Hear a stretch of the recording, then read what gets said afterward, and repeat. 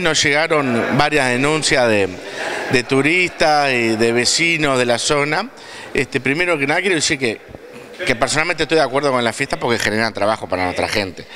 El problema es cómo se planteó, estuvo 15 días ocupada la playa, una playa este, muy concurrida, muy importante digo, de nuestro departamento. Este, entonces hay varias cuestiones que nos preocupan mucho.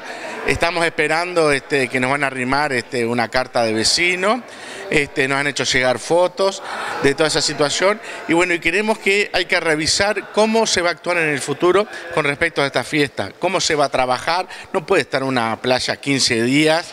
Este, y queremos saber cómo va a actuar la Intendencia aquí, además con esta fiesta. Aclarando que estamos de acuerdo con los eventos porque generan trabajo para nuestra gente y a los turistas les tenés que ofrecer cuestiones, pero siempre en el marco de un equilibrio y un respeto al que también viene a buscar una cosa que también ofrece Punta del Este, que es la tranquilidad y el respeto a, a la playa que va. Entonces creemos que hay muchas cosas que solucionar y bueno, y vamos a estar haciendo un planteo con respecto a ese tema.